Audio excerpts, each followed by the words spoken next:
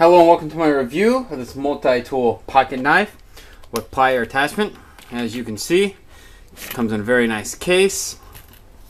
Very solid construction. You get a couple, couple different blades on it. You get your normal knife blade with a serrated edge. You also have a pair of pliers that pull out.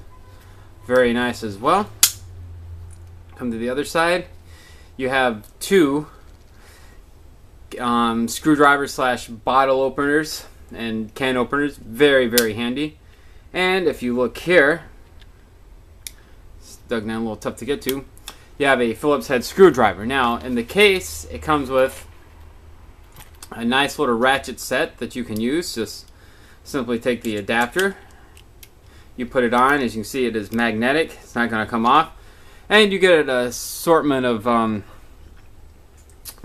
other attachments. You have Phillips, flatheads, and you also have some um, hex configurations as well. So you just simply take one out, and you put it in, and you have a makeshift screwdriver. So very nice product.